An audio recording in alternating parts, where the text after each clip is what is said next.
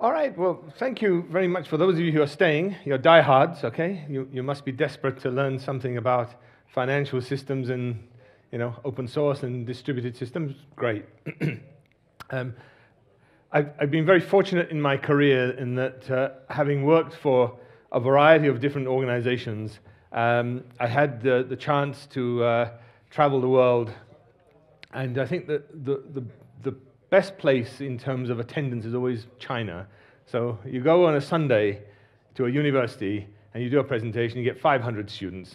Where in the world would you get 500 students turning up on a Sunday? You know, only China.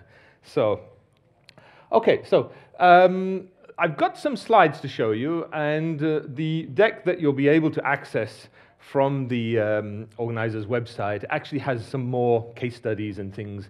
But what I wanted to show you was some demos as well, just to uh, reinforce the points that I'm trying to make. So we will cover a, a case study for a large uh, bank uh, that's using uh, Ignite and um, uh, talk about some of their sort of uh, problems, if you like, five main issues that they have and how the technology has helped them solve those issues.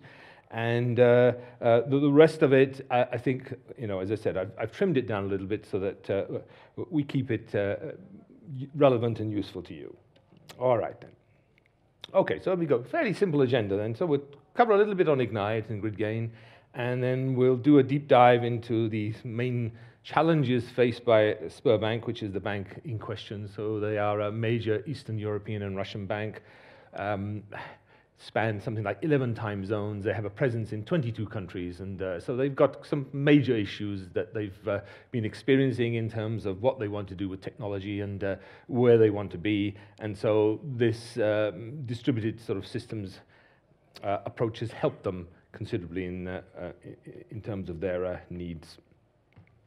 Okay, so quickly then, Ignite and GridGain. So uh, Apache Ignite is the open source uh, project available from the Apache Software Foundation. So ignite.apache.org. Okay, I'll show you the website a little bit later on.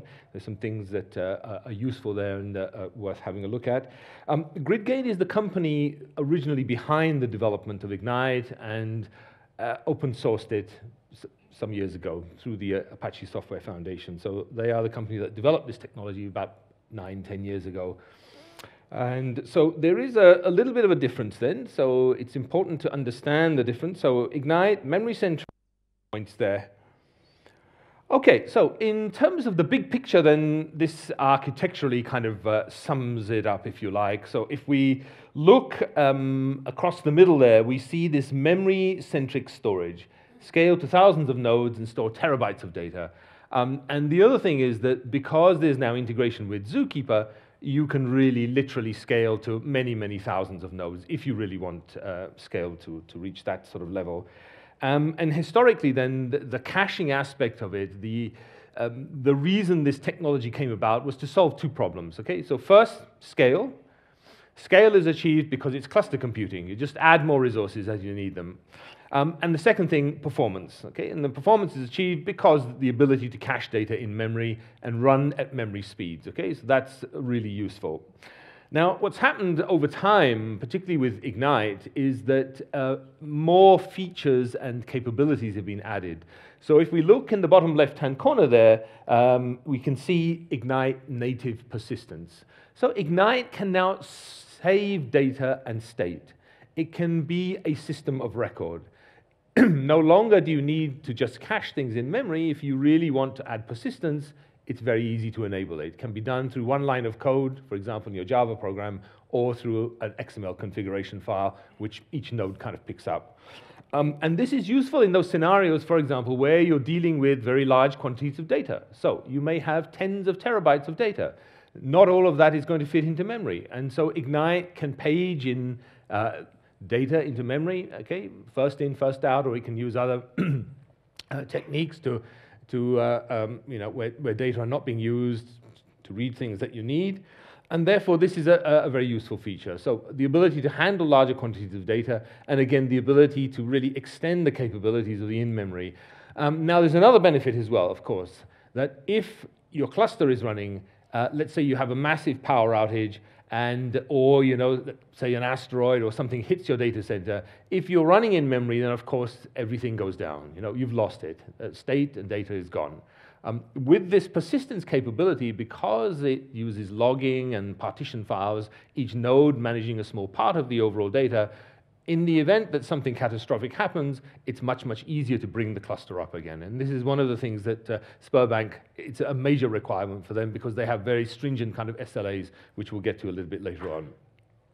Uh, another thing that uh, Ignite does, if we look in the bottom right-hand corner there, third-party persistence. So this is kind of a useful feature. So um, a key point, uh, if you like, um, that uh, Ignite is sort of positioned in, uh, you know, the, the, space that they're trying to really address is this uh, kind of no rip and replace. So the idea is that probably uh, you are using systems that you are uh, invested time, money, effort in over a long period of time. You know, typically, these may be relational systems, transactional systems, but it can work with other things as well, HDFS, NoSQL as well. But let's uh, consider the scenario where you're working with the transactional database systems, Postgres, MySQL, Oracle, um, you know, DB2, and so on.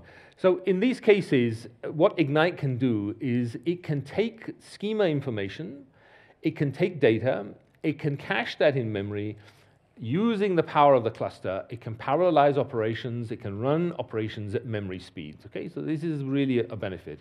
And I'll give you an example. So earlier this year, I was in Brussels, and I was presenting at a Java user group, and there was a gentleman who came up to me at the end, and he said that we are a big Postgres user. Uh, and he said, we like the product very much. It solves the, you know, many of our business problems, but there are some cases where performance is, is poor. And we, we're trying to address those uh, type of scenarios. And in this situation, they are using Ignite to really offload that processing to the cluster, run those operations at memory speeds, and they're seeing vast improvements in the ability to really do the kind of things that they, they want to do with that data. Okay, so just above the memory-centric storage, then, we see a, a range of uh, um, grids, if you like, or features, capabilities. So starting from the left-hand side, SQL. Now, the thing is, uh, whether you like it or you hate it, SQL is intergalactic data speak, okay? There's no escaping that. So the vast majority of BI tools, very easy to plug them in if you need them. Uh, the other thing is, of course, skills availability. If you need a good SQL developer, it's very, very easy to find one. Um, Ignite is a key value store. Okay, there are other great key value stores out there as well, but again, you know, historically this product has been around for quite a long time, and uh, key value was one of the original kind of strengths and features that they introduced, and the value can be anything. Uh, and uh, so you can be using simple types, character in integer, floating point, string, uh, whatever, or these can be user-defined complex types. So things like, say, a financial instrument or a healthcare record, okay? And then as deep as you want, okay? As deep as the programming language will support. It does transactions. Um, and it does the two types of transactions. So it does both lock-based ACID transactions and it does the lock-free optimistic transactions. Excuse me. And let me give you an example of why these are useful. So consistency is something that we look for in, uh, um, particularly in database management systems, that system moves from one consistent state to another consistent state. In between, of course, whilst the transaction is running, perhaps some level of inconsistency does occur. But when we commit, either it's successful and we're okay, or there is some error or some problem and we have to roll back, back to a known state. Um, I'm a great fan of MOOCs, massive open online courses. So earlier this year, I was on the website of one of these providers. As you know, there's Coursera, EDX, Udemy, Udacity, many, many of them around. And uh, I happened to like a particular course. So I got my credit card out, I put the details in, hit the pay button, and it came back and said, there is an error. All right, I thought, transaction didn't complete, not a problem. A while later, I checked my credit card bill, and I noticed I've actually been charged. So I go to the merchant, they say, we haven't received the money, we haven't been paid. I go to the bank and they say, you've paid for this. Where's the money? Okay? Now there's an example of a poorly designed system. That should not happen, okay? If I want to transfer 100 euros from my bank account to your bank account, My bank account needs to be correctly debited, your bank account needs to be correctly credited. So there is a situation, you know, it's an atomic unit of work. Either all of it happens or none of it happens. So Ignite will guarantee these ACID operations. And the other thing is that one of the things that it does when, particularly when working with these third-party persistence capabilities and transactional-based systems, typically relational, but some NoSQL products are transactional as well. The thing is that Ignite will keep its cache and the backend system consistent. Okay? You don't have to manage that. It will take care of that for you. Um, other things, compute and services, unfortunately no time to cover these today. Uh, streaming, and it will happily connect with streaming technologies, Spark Streaming, Flink, you saw the previous speaker talking about that, and um, uh, uh there's uh, Kafka, all of these. There are adapters and connectors for all of these technologies. And so one of the benefits that Ignite brings is that it has this data streamers, okay? So it can take the data, parallelize it amongst the cluster, and then we have the opportunity to run operations uh, in parallel upon this uh, data. And of course, the data can be finite, maybe coming in and stop at some point, or it can be continuous. And the other thing is that particularly with continuous data, we can do things like complex event processing. So we can say, all right, you know, I'm interested, say, in the last five minutes worth of data, or I'm interested in the last uh, 100 events, or whatever. These things are supported and uh, perfectly doable. Um, and machine learning as well. So machine learning was really driven by one of the major users of Ignite out there because previously the problem was that if you want to do some of this capability upon the data that you have in your cluster, you have to offload it, ETL, you know, take it out, use third-party tools on it, do some analysis, and then you get some results. Now, if you, you know, for small quantities of data, that's doable. It works, okay? But once you scale up, you've got terabytes, petabytes of data, enormous amounts of uh, uh, you know, uh, data to, to, manage, it becomes really hard. And therefore, the ability to run these operations, uh, machine learning algorithms in place on the data that you have is a real benefit. Again, we'll, we'll touch upon this a little bit later on. Okay, so um, generally, my focus as uh, someone that works for uh, GridGain uh, is purely open source. However, from time to time, it's worth just mentioning a few things. And so if we look here, here is the key difference that uh, the commercial GridGain has versus the open source Apache Ignite. Okay, so there's a few things, and it's the kind of uh, uh, you know Red Hat model. Essentially, the software is given away for free, and you have uh, some additional services around that, you know, professional services, training, bug fixes at enterprise level, plus a few enterprise features. And these are the kind of enterprise features that Sberbank in particular utilize. So if we look at this, um, things like data snapshots and recovery. Okay, so the sort of point in time recovery, the ability that, uh, yes, you may take a snapshot of your system, say on the hour, every hour, but let's say you want to take incremental snapshots as well. You know, every couple of minutes you take a snapshot. In the event there's some failure, you can recover back to some point in time. That's a, an enterprise feature. Monitoring and management, security and auditing, um, more sort of uh, stringent requirements than may be available in the uh, open source product and then data center replication. So uh, being a large commercial bank, they run this technology across three main data centers around the world. Uh, and again, for allow you know, acts of God, nature, problems, you know, power outages, uh, serious uh, sort of issues that may take down one or more of these data centers. So it's important for them to have this ability at a sort of commercial scale that they need. Beyond that, though, I mean, the, the basic open source technology actually does quite a lot as well. So you can start from that if you want, and then if you find that there are some commercial features you need, obviously I would suggest you talk to GridGain. Okay, so let's have a look at uh, some of these uh, challenges, okay? And then if time allows, I've got uh, a little bit under sort of 20 minutes or so to, to finish this. I'll show you a couple of demos, you know, some simple sort of uh, examples of uh, some of the, things that I've talked about, uh, and we'll see how that goes. Okay, so Sberbank itself, core banking services at scale. So essentially what they are in the situation is that uh, basically they pay some of these larger organizations uh, huge amounts of licensing fees. So they want to move away from that. Um, they want to also redevelop a lot of their services and systems to take account for a lot of the new technologies that are coming out there. Now, we've all got smartphones, okay? And we all do banking on our smartphones. I, am kind of late to it. I mean, I started very late. Uh, uh, my wife was a lot quicker than I was, but I found it very, very useful. You know, the ability to transfer money, to pay bills, all of these kind of capabilities. And of course, that if you are a, a major organization with millions of customers, you know, and thousands of branches, um, historically, uh, reinventing and introducing these new services, getting a better idea of what your customers are doing, and getting this kind of 360 degree view of, of the customer is really what they're trying to achieve, so that they can target specific services at specific customers um, and make it more personalized for them. It's hard.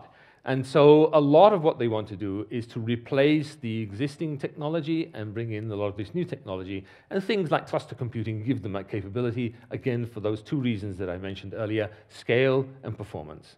So scale, again, just add more resources as you need them, um, remove them when you don't need them, and the performance, they utilize the memory capability very efficiently and very effectively, uh, but equally, they, uh, because of the amount of data that they deal with and some of the SLAs they, they, they deal with, um, it's important to have that persistence capability as well, which we touched on uh, a couple of slides ago.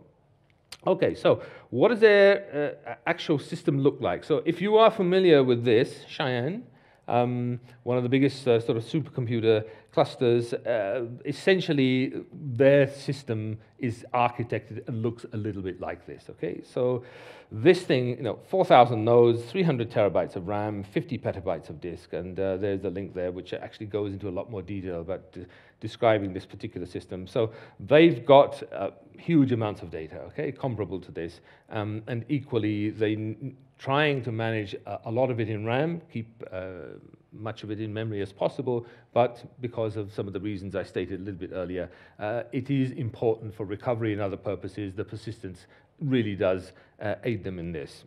Okay, so the first thing then, challenge number one, large memory size. So uh, typically they're dealing with reasonably large amounts of memory, about a terabyte per server, which uh, in these uh, monetary terms these days is pretty affordable. Uh, memory is cheap. Uh, the other thing is that um, Ignite, being a Java-based product, obviously there are issues in terms of garbage collection, okay, on heap, off heap, as you know, and uh, therefore particularly with Ignite, they re rewritten some parts of it so that it utilizes its own memory management system, does not rely upon Java. That would be a problem with large amounts of memory, okay, because these things like stop the world garbage collection can have a serious impact upon performance, okay? So on heap is not an option. Um, off heap as the primary storage as well, okay? So they need something else in addition, okay? So the ability to use um, uh, off-heap memory, memory management is really going to assist them and help them in this respect.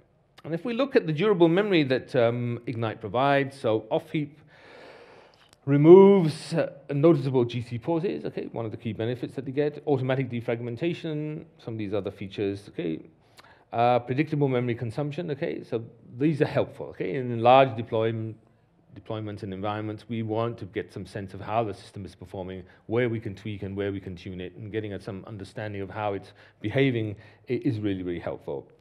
Um, now, the other thing is that if you look at some of those points there, so full transactional write-ahead log and uh, instantaneous restart. So this goes back to that persistence capability that I talked about a little bit earlier on. So in this scenario, Ignite is no longer behaving just as a cache, okay? It behaves as a system of record, as a distributed database system that persists data, okay? And, and so the write-ahead logs are used for recovery purposes. Each node manages some small part of the overall data, and it's got partition files which keep that data as well. And so like some other systems, it avoids in-place updates because they are slow, right? So we write these changes to a write-ahead log. Sometime later, we flush these changes to the system, shrink the size of the log, and you know this is uh, and rotate it, and this is how it, it handles these scenarios. Um, store superset of data on disk. So in this, uh, again, with this native persistence capability, what they're able to do then is that all of the data are stored on disk, okay? Some of the data may be cached, uh, and that's entirely up to Ignite based upon its strategies in terms of uh, uh, how it reads in data. And again, there's some tuning and configuration that you can do with that. But this is, this, you know, this durable memory um, is the idea that uh, you are persisting data now, not just caching it anymore. All right, so some useful things there that the bank has found and been able to apply directly for some of the problems that they see. Um, challenge number two, instantaneous restart. So they have a pretty stringent requirement. Now, with all the vast quantities of data that they have and the size of the cluster that they have, they have uh, this requirement that in the events that things fail, and failures happen, you know, um, it, it's the nature of life, and, the, and um, we see these problems um, occurring from time to time. Uh, five minute SLA, all right? Now, with memory only systems, if we lose everything, uh, let's say through a power outage, our entire cluster goes down, it's going to take some time to rebuild that data for them. It's going to take time to load all that data in and whatever you know, processing that we're doing, perform some, some level of recovery upon that. It's slow. It's going to take time. Um, far better to have this capability to, uh, you know, with the logging and the partition files that are maintained, persisting the data means that we can bring that cluster up a lot faster. Um, that's very, very useful. Okay? Cannot wait for data loading, need to operate from disk, and therefore this is a significant sort of benefit that they found, and they are actually one of the driving forces behind this capability that Ignite has added. They specifically requested this, and because they are a large customer and, and have a, a huge sort of user base, and uh, in terms of uh, the, the scale that they operate in, you know, naturally this is something that uh, eventually came to be, came to pass. Um, so we've touched upon this a little bit already. Um, so each node uh, maintains a write-ahead log, okay, and also partition files where we keep some parts of the uh, overall database. And if you are familiar with database recovery systems, you know, you've worked with relational systems or other types of database management systems. I mean, this should look fairly, uh, you know, it, it, should be fairly obvious to you and uh, uh, reasonably understandable. There, there's not, uh, you know, this is not kind of reinventing things that we don't know about. Um, all of these are using tried and tested uh, uh, techniques that have been around for a very, very long time if you've worked with database management systems. There's a lot of detail about this as well. If you want to know the nitty gritty of how they actually implemented it, there's an entire wiki that goes into the, the, the, depths and the descriptions of how this is actually supported at a very, very low level. Okay, so if you're interested in the details, happy to uh, um, uh, help you out and point you to those resources. Okay, challenge number three, huge data model. So one of the things, uh, again, through various uh, legislation, historical requirements, uh, you know, legal requirements is the fact that uh, um, they need to keep track of products that they've offered in the past, and therefore sometimes you know, things are versioned. They have to keep all these different versions. And a lot of these uh, uh, sort of older products, if you like, uh, you know, when we are doing this versioning, that inevitably that leads to a large number of data types as well that we have to think about. Things may change over time. Things get versioned. We may not use the same types in the new product that we did in the previous product. All of these changes have to be maintained so that at some point in time, if for legal reasons they need to go back in time and to, to show how things were at some point, uh, they can do that, okay? So that's very, very important. Uh, fast replication and partitioning, again, the idea of cluster computing, helping them in, in terms of achieving these sort of capabilities. Uh, one of the nice things that you get with Ignite, which is a benefit that also available in other types of distributed systems, is this idea of co-located processing, for example. So data that has some association with other data has uh, in a kind of a natural um, uh, affinity, if you like, and we can store that data together. That means that we are bringing the processing to the data. We are storing that data together. Uh, it helps us achieve better performance because we don't have to search across our cluster anymore. Um, we know exactly where that data resides. Uh, distributed SQL joins, so because Ignite supports SQL, SQL 99, that yes, you know, if um, Joins are the, probably the most expensive operation in a relational database system. But again, the system can keep statistics, it can keep uh, you know, useful information about um, uh, data sizes, you know, the tables, uh, access patterns, indexes, all of this information is available to it, and therefore it, it, makes the you know, good optimizers make great decisions in terms of what's the best approach to uh, retrieve data. Uh, there's nothing to stop you doing a distributed join across an Ignite cluster. Now, if you do it badly, you know, you will bring the system to its knees. That's life, unfortunately. No, it's one of the things that you get. There's great flexibility and great opportunity on the one hand, but equally use it with care. Okay, I mean, there's nothing to stop you doing it. Ignite will not prevent you from doing it, but um, this is part of the overall architectural decisions that you make and the types of queries that you run, the access patterns, and again, using these kind of co-location capabilities. So, you know, they've uh, chosen wisely in terms of how they use these uh, distributed SQL joins. So can be done, okay, um, but obviously use with, uh, with care and caution. Co-located processing we already talked about, very, very useful uh, feature. And uh, again, helps in terms of boosting performance. And uh, there are some demos and things that show Ignite's capabilities in this space. you, know, the, you will get some sense of what sort of performance benefits that you can achieve. Um, so in terms of the distributed SQL then, so we've talked about uh, SQL 99, I've mentioned, um, DDL and DML feature support, okay? So uh, if you are working with uh, the, the three kind of primary languages that Ignite supports, which is Java, .NET, and C++, these are the kind of the top level languages. Um, there is this binary format that's used that you can use to store in one language, for example, and retrieve in another. Uh, and that is something within large organizations that you often find that different departments, different parts of your uh, company may be working with different programming language, different, different frameworks. That happens, okay? So Ignite provides some flexibility. Now, there is support for additional things coming down the road, okay? There is a REST-based interface as well, very, very useful. Uh, but things like, for example, if you're a data scientist, you're, you're working with things like Python uh, or R or, or, those kind of technologies, then there are these kind of thin drivers being developed for those. Uh, the next big thing that's being added, uh, certainly as far as the machine learning capabilities and deep learning capabilities, is TensorFlow support, which is coming in 2.7 release is kind of almost imminent. Um, Indexes in RAM or disk, dynamic scaling, so all the cap capabilities that we would expect of cluster computing in terms of failover and uh, uh, recovery, um, the ability to scale up and down as we need it, that's all supported. It's the standard stuff.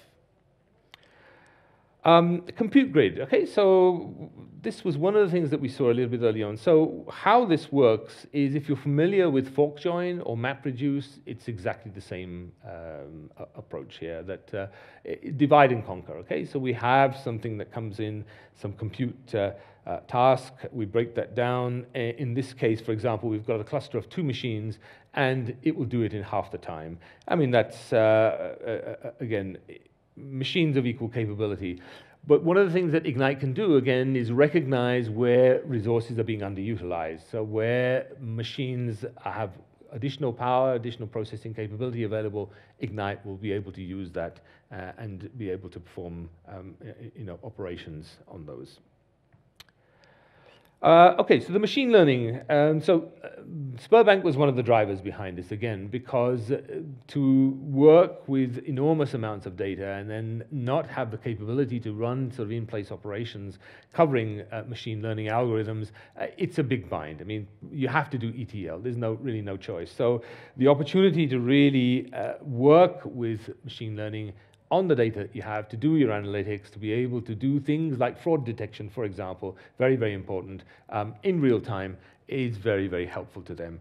And so what they've done with Ignite is these algorithms have been implemented from the bottom to take advantage of distributed processing, large-scale parallelization, and uh, again, there are some features that they've added, things like uh, partition-based uh, data sets. So the idea here is that if you're running a machine learning job, and let's say it's been going for half an hour, and perhaps it may need another half an hour uh, to complete, if you lose some parts of your cluster, for example, The thing is that the, job will still continue. It's able to process that data because of these uh, uh, additional sort of features uh, that they've built in.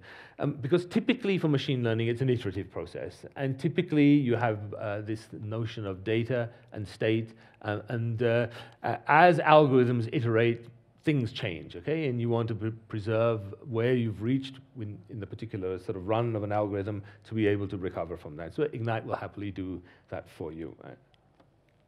Okay, so no ETL. Okay, backups and snapshots. Uh, need to backup data, consistent data restore, restore on different clusters. So these are a few of the enterprise features now we're starting to get into, okay? So that, uh, uh, again, the needs of enterprises, uh, sometimes you have maybe a cluster of a different size. Perhaps you want to restore the data to that very, very quickly, and one of the enterprise features allows you to do this.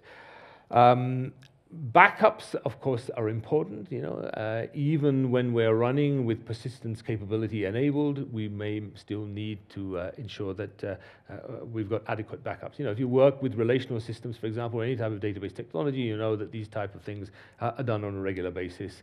Uh, we need, uh, again, support for this.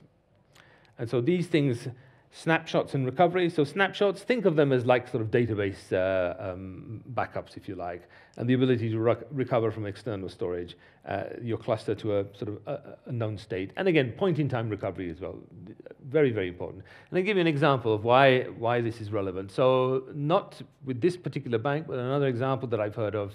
Um, we are human. We make mistakes. Developers make mistakes, okay? And so there was a case where a developer wrote a SQL query set all the bank balances for this particular organization to zero. All customers' balances were set to zero. Okay, so the ability to go back just before this problem, re restore the system to a point in time, very, very quickly the bank realized what the problem was and be able to recover that. Very useful capability. And particularly if you're working across lots of time zones, you know, you have uh, um, a need to keep customers happy, need to, to have the system fully operational. These, again, are, are very uh, key features to uh, um, enterprises. Uh, the last thing here is um, data center replication. So if I uh, probably be best illustrate it with a, a, graphic like this. I mean, this is, this is not actually the Sberbank um, where they've got their data centers. I think we're not allowed to tell you where they are uh, for obvious reasons. Um, but the way that these things can work is typically you can have just clusters and they may work in a variety of different ways in terms of how you do your replication. So it can be active-active, for example, or active-passive. You may just have a backup, for example, where the data are being replicated to that. So in the event that the primary goes down, um, the data comes back up again. But you know, if you've got active-active, then there's more data flowing between these. You know, it's, again, architectural decisions based upon uh, uh, needs, and so it, there's a sort of uh, a lot of configuration that you can do in this space.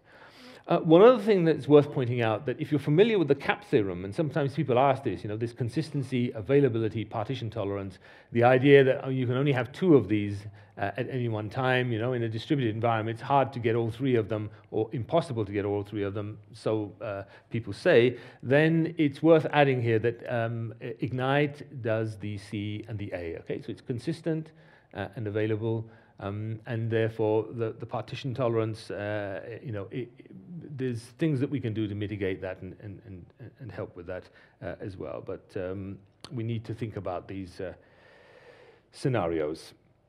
Okay, so uh, a little bit in terms of the numbers then, just to the last sort of couple of minutes that I have left uh, available. So these are numbers from the Apache Software Foundation, okay? So we are number one in terms of the developer mailing list, Number two, as far as the user mailing list is concerned, and only Hadoop, Ambari, and Camel are ahead of us in terms of overall number of commits. So typically, each year is about a million downloads per year. Um, and so the community is very active, and uh, uh, it's worldwide, okay? And I would encourage you to participate and get involved. Uh, okay, so as I promised, a couple of things that I can show you in the last couple of minutes that I have, and we leave time for one or two questions if you have them. So uh, let me just show you this first of all. Okay, so this is the uh, landing page at the Apache Software Foundation. Uh, in the top right-hand corner, if, if I can try and, does that work? No, it doesn't. Not, not on here. Okay, sorry about that. Um, I think we, are not able to see this page. Um, can we switch to the, uh, I think the, the, your AV is designed to just handle the PowerPoint slides, but won't show the, unless I uh, go back here and say share my desktop. Let's, let's try the uh, uh display. There may be an option here. Um, arrangement, mirror display. Let's try that. See if that works. Okay, that works. Great. All right, there we go. All right, so if we just have a look here, there we go. Okay, so this is the uh, landing page, and, uh, and again, let me try this. Okay, that works this time. Great. So there we go. So in the top there, you can see screencasts. Okay, so there's a couple of uh, 10 minutes of your time, a couple of videos that show you how you can take a relational system. The example they use is MySQL, for example.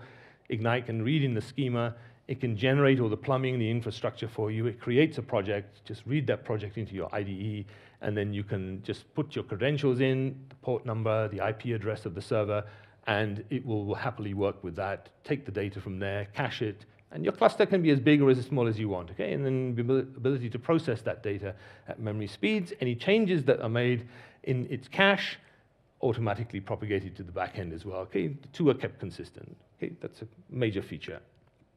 Um, other stuff, so let me just uh, quickly show you the, uh, let's minimize this, okay, so that our, our eyes are a little bit, uh,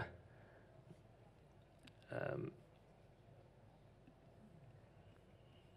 let's close this and then just show you this, okay, so if you have the opportunity, you can just download the, uh, this is uh, 2.6, okay, so this is uh, the binary version, and all I have on my system is just Java. That, that's all it needs. And this will work pretty much anywhere. So it will work on, uh, um, uh, you know, even um, these uh, small sort of uh, type of microprocessors, you know, that you get um, Raspberry Pis. Uh, there's an ARM-based version of Java for them. Ignite will happily work in that environment. And so lots of examples. So all of the sort of capabilities we talked about, key value, uh, persistence, machine learning examples. Uh, there's genetic algorithms, for example, lots of other code examples, and all of this stuff works standalone. You don't need a cluster to get this uh, working. All you do is just uh, read in the pom.xml file. It will create the project for you. And then just lastly, to wrap up, uh, let me just show you one other thing, uh, which is this here. Okay, so if you are working with Kubernetes, for example, then Ignite will happily work in that environment as well. Okay, so this is just uh, running locally in uh, Minikube. I've got two pods here, and if we just have a look at this and look at the logs, for example, this will show us that uh, we've got Ignite running as a service inside this containerized environment. Great for DevOps guys. Okay, now you can deploy this anywhere you want. Okay, whether it's an external cloud or internal cloud, a combination of the two if you want. Um, and so this is great, because we've got a standard set of commands in terms of managing this environment, and we can deploy it wherever we want. That's very, very helpful. Um, so overall, I think the message here is that um, the bank has benefited significantly from a lot of these capabilities. They've been a major driving force for adding some of the new features, for example, the persistence and the machine learning, very much driven by these large customers who wanted these capabilities that Ignite previously didn't support. And you can treat Ignite as a system of record as well now, if you want to uh, uh, run it in that way. Um, and the other key message is the no rip and replace, which is very, very important because it provides the ability to maintain your investment in, in what you're already using, but perhaps use Ignite to handle certain types of uh, use cases or certain types of um, problems which performance may be an issue with your existing system, but you can offload that now to cluster computing and be able to run things there at memory speeds. Okay, so I think I'm almost out of time there. Maybe I think time for one question, perhaps two. Uh, I'll be around uh, outside as well. If you want to reach out to me, just do a search on my name. I'm on LinkedIn. You know, feel free to reach out and connect uh, if you wish to do so. I'm on Twitter as well, and uh, I think um, let me just have a look. Uh, as I said before, yeah, this is a great place to go to. The community is very active, very lively. Get involved. Any questions that you have, no matter how complex or how simple, don't be afraid to ask. Great, thank you. So, question. Hello. Um, you, your profile said you're a global rock star. What's your favorite band? too many to say. Uh, I like Eric Clapton. So, uh, nope, done. All right. So, all right, guys. Thank you very much for your time. As I said, I'll be around. So grab me, drop me an email. First name dot last name at gridgain.com, and uh, that will reach me. Great. Thank you very much for your attention.